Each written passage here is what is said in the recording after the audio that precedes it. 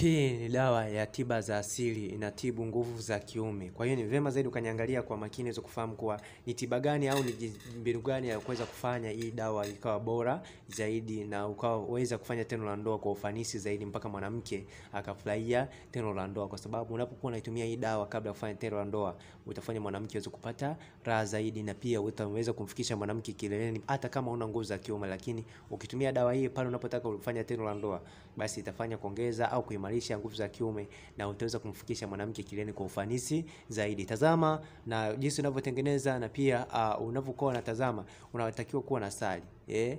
Hii asali unaposha unayo uh, unapokuwa unafanya hakikisha unaweka asali kwenye sahani yako hivi, mfano eh, weka kwa asali hivi uh, unaona, nafikiri umeona asali. Baada ya kuweka asali kiasi, sio asali nyingi eh, alafu hii hapa ni aina mojawapo ya unga unga fulani hivi. E, unaweka kiasi kwenye kwenye asali yako hivi. Kidogo, weka asali kidogo kwenye asali kidogo. Uh, baada ya kufanya hivyo uh, kuna kidude fulani hichi hapa, hizi ni tende, aina za tende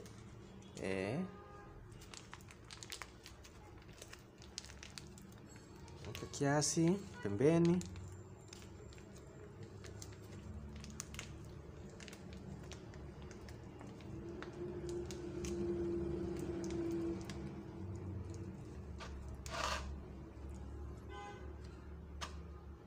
Weka pembeni tende.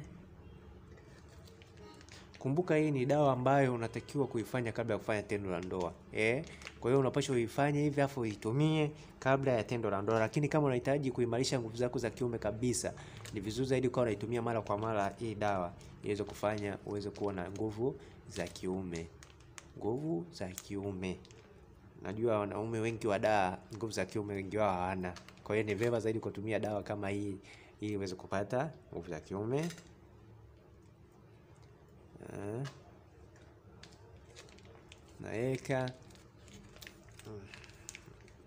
naweka kumradhi, niachukua muda kwa sababu lakini nizoee taratibu.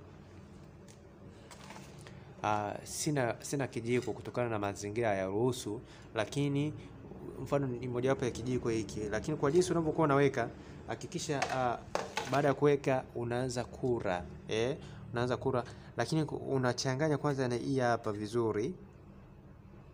Na asali,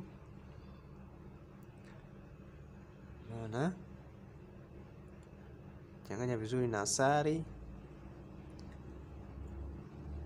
Kumbuka hii ni dawa ya kufanya mapenzi kabla uh, yani, yani ya, ya kufanya mapenzi kabla, ili uweze kuimarisha ume wako na kuweza kumfikisha mwanamke kileleni kwa urahisi zaidi.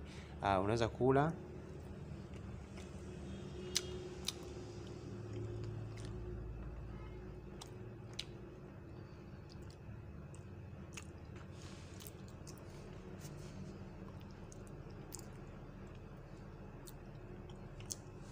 maona unakula.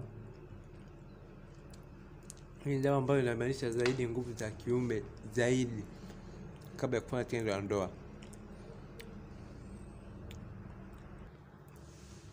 na inatakiwa una lita maji, lita moja ya maji. Mm, takiwa uwe nayo pale unapokula, unakunywa na maji, unashushia maji. Mm, dawa iweze kufanya kazi kwa zaidi.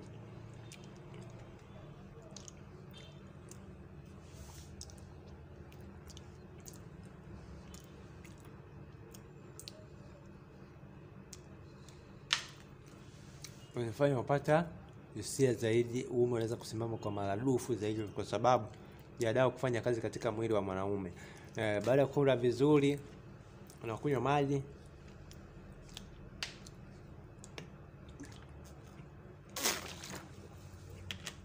ni dawa nzuri sana. Kumbuka ni dawa nzuri sana.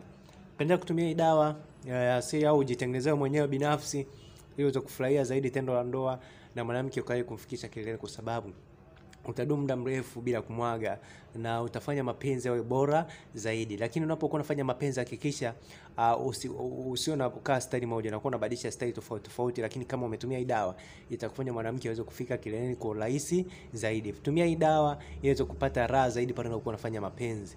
Asante kwa kuitazama uh, platiko hii au jinsi nilivyokufundisha, penda kuifanya hiyo kufurahia zaidi tendo la ndoa. Asante.